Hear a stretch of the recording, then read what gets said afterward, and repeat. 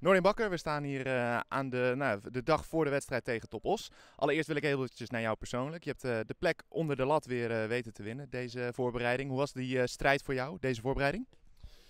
Ja, het was een goede strijd denk ik. Agil en Stijn zijn ook prima keepers. En ja, we gaan trainen goed samen, goed trio. Dus ja, en gelukkig sta ik erop blij mee, denk ik inderdaad. Uh, morgen wordt het net als vandaag, jullie trainen al wat vroeger behoorlijk warm. Uh, is dat voor jou een probleem of vind je het eigenlijk wel lekker om met dat soort temperaturen te voetballen? Ja, ik heb er niet zoveel moeite mee. Het uh, scheelt natuurlijk dat ik keeper ben, dat ik niet zoveel meters hoef te maken. Maar ja, ik vind het alleen maar lekker met mooi weer spelen. Dus komt goed uit.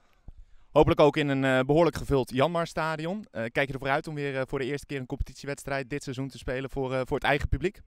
Ja, zeker, zeker. Het is uh, mooi om er thuis te spelen. En uh, tegen Ajax, de oefenwedstrijd, zat het al uh, aardig vol. Dus ik hoop dat er morgen ook veel man op afkomt om ons aan te moedigen. Dan even naar de tegenstander. Top Os morgen thuis dus in het Janmar Stadion. Afgelopen week wisten zij met 3-0 te winnen. Ehm, gevreesde tegenstander of valt dat mee? Nou, dat valt mee. We moeten uitgaan van onze eigen kwaliteiten. We hebben de wedstrijd goed geanalyseerd van hun. Een 3-0 overwinning. Dus we weten wat ons te doen staat. Waar heeft deze week eh, bij de trainingen de focus op eh, gelegen om het eh, topos zo moeilijk mogelijk te maken op eigen veld?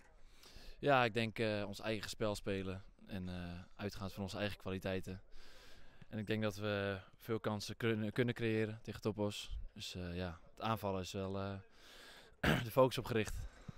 Aanvallen de focus inderdaad. En jij uiteraard morgen de ballen weer tegenhouden die hopelijk niet al te veel op jouw doel worden afgevuurd.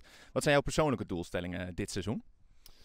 Uh, persoonlijke doelstelling is uh, het zelf zo goed mogelijk doen. Veel clean sheets en uh, ja, bijdragen aan de promotie hopelijk. Goed om te horen. Veel succes morgen tegen Topos. Yes, dankjewel.